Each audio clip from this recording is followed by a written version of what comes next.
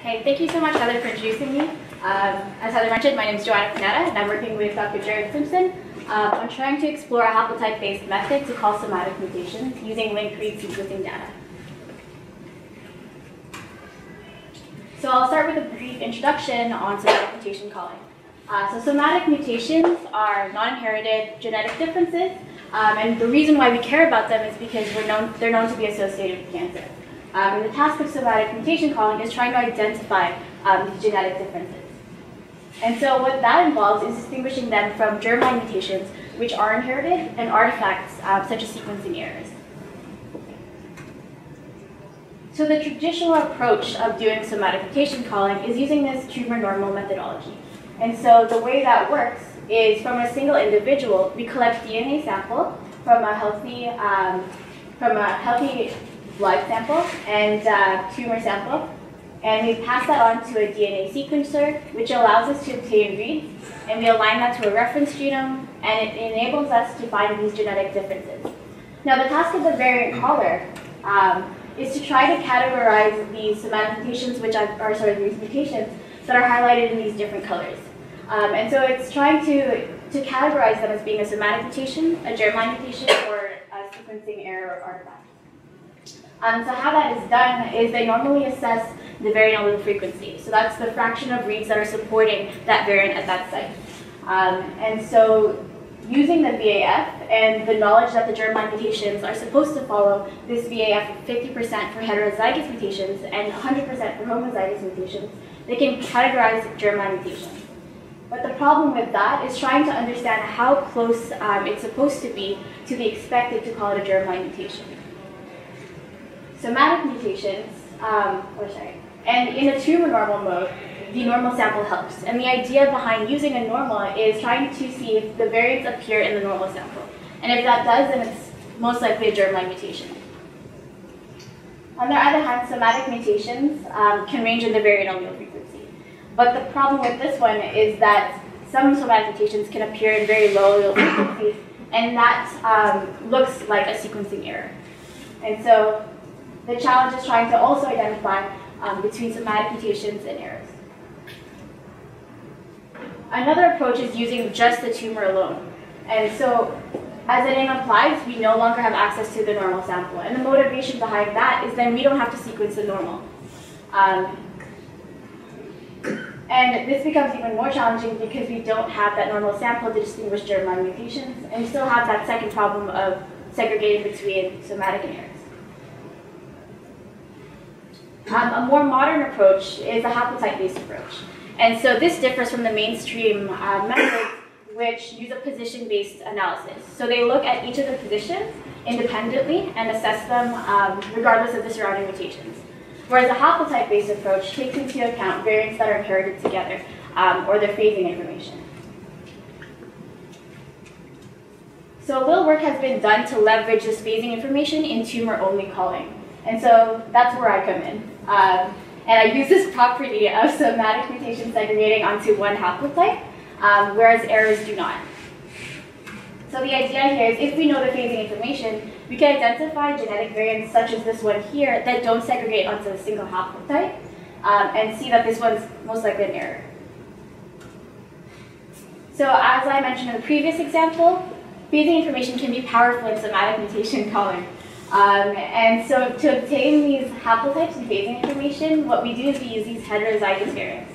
And so there's an example here where these are, there are two loci with evidence for these two different um, bases. And the possible haplotypes could be that the A is inherited with the G or the T, and the same goes for the C in the first loci. Now the problem with short reads is that they don't, they aren't able to span these heterozygous um, sites um, because the short reads can be about 150 base pairs, and these heterozygous sites can be about one kilobase apart. The advantage of long reads is that we will have reads that span these heterozygous sites, and from there we can have more evidence in specific haplotypes, and we obtain the phasing information. So linked reads are generated by 10x Genomics, and at its core, it's a short read sequencing technology. Um, but what's amazing about this is it utilizes molecular barcodes. Um, and from using this, this uh, molecular barcode, we're able to gain this long-range information that allows us to resolve these haplotypes. So the way that it works is that we have the genome and we fragment it into high molecular weight DNA fragments of approximately 50 to 100 kilobases. And we get the, using the microfluidics devices, we get approximately 10 of these high molecular weight DNA fragments into these beads that are enabling this attachment of uh, 10x barcodes. Then we pass off these DNA fragments into an Illumina sequencer, um, and we obtain reads that have this barcode, which allows us to derive which DNA fragment a read is coming from. And this gets us that long-range information and gets us that phasing. So the motivation behind my project is maybe we can uh, use tumor-only somatic calling by using haplotype information that's provided by linked reads. And so in this example here, where we're looking at an IGV screenshot um, of the reads being aligned to the reference, um, and the genetic variant, the genetic differences are highlighted again in the different colors.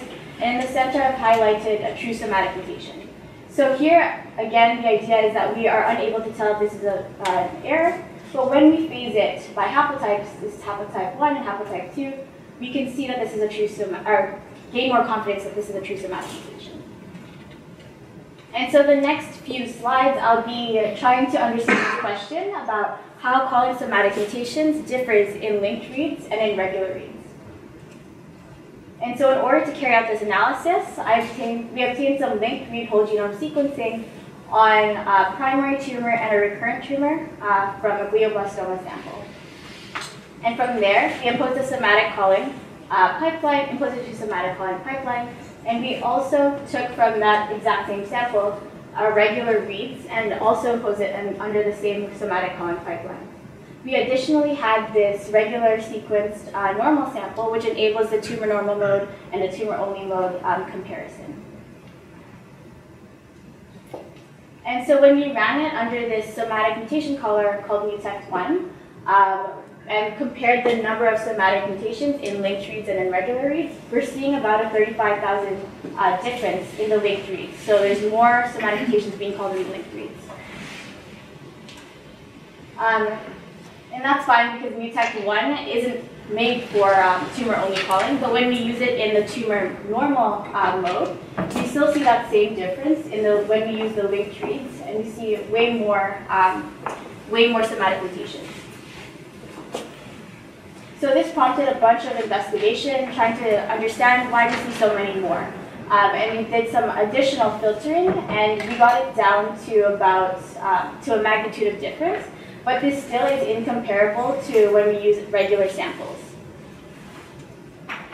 Um, another method that tries to accomplish the same thing, uh, 10x specific um, tumor-only method called Samovar, which uses machine learning.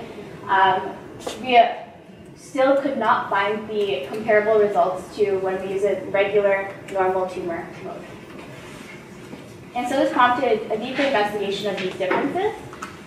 And what we found was this trend of a multinucleotide variant. So this is where consecutive base substitutions of two or more appear. And it seemed to be just appearing in the linked read data. So in the two panels here, we see this G and T in the center um, that just appear in the linked reads, but not in the regular um, samples.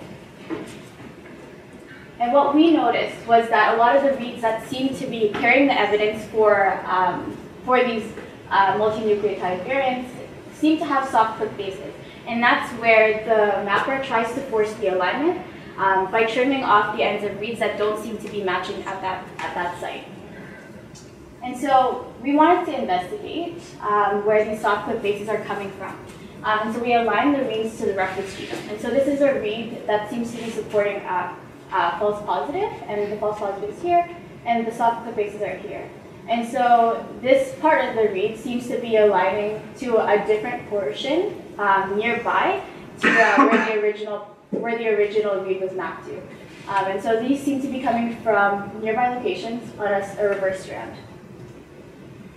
to understand the underlying mechanism of why this kind of um, read occurs, we impose it under this um, secondary structure analysis um, called MFOLD, and for every read that supported this false positive mutation, we tried to see if there was possibility of it to fold over on itself. What was interesting was a lot of the reads seemed to do that, and at the apex of the hairpins was where we were seeing these false positive mutations.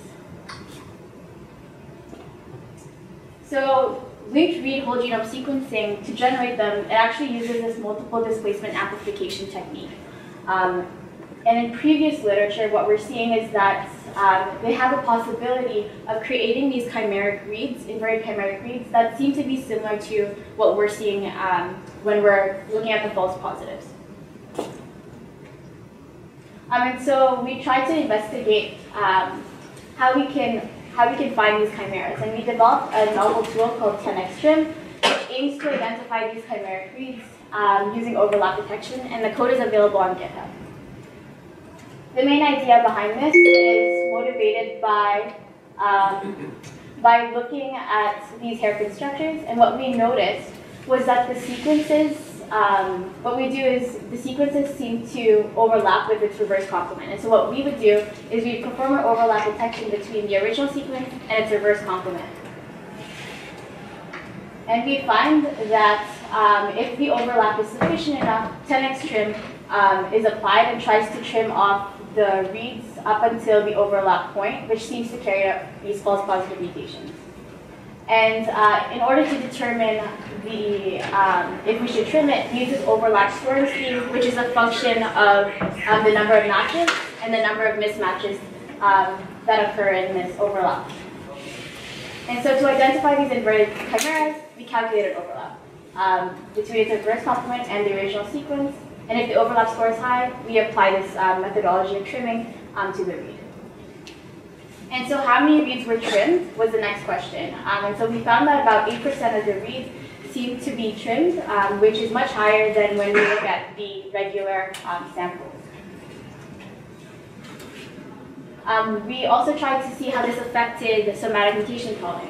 And so what we found after trimming was there was about a 10,000 different 10,000 difference um, when we applied 10xtrim. And so conclusions. Um, so in, in um, the first part, I've mentioned that we found differences in the number of somatic mutations being called in linked reads versus regular reads. We found that a lot of these reads seem to be showing chimeric traits, um, and we developed a novel tool called 10xtrim in order to identify these um, chimeras, and it was effective in reducing the number of false positives in future, it would be it would be interesting to see how haplotype sorting can be used on other long-read data such as PacBio and Oxford Nanopore. And I would really like to thank uh, the members of the Simpson Lab, the Pugh Lab, Taylor Lab, OICR Genomics, and Bioinformatics uh, for all their help and advice in supporting NEMA research. Thank you.